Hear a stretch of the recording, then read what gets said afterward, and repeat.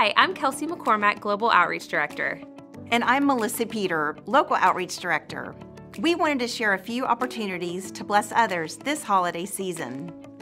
Thank you for your incredible generosity in the past. I hope you'll join us in kicking off this sharing season by donating a bag of grocery goods.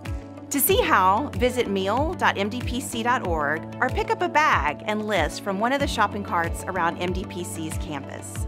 When Thanksgivings come and gone, join us in living out our Thanksgiving.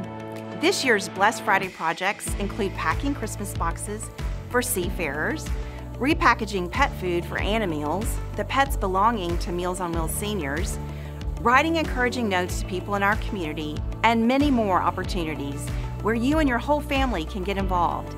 Instead of hitting the stores on Black Friday, spend time serving someone in need.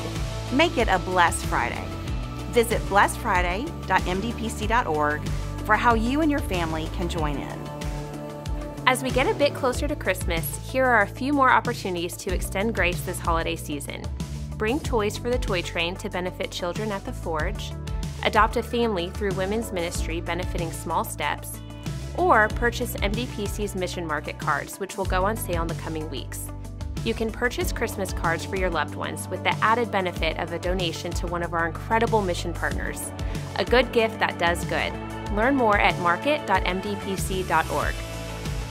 Want to be more hands on? Our weekly Fuente Food Pantry relies on solid volunteers, and we host two monthly sandwich making opportunities one here and one at Kids Meals that needs you to feed Houston's food insecure preschoolers log on to hunger.mdpc.org to get involved. You can see more ways to connect by going to the Serve link on our website or visit events.mdpc.org and follow us on social media for photos, updates, and all things MDPC.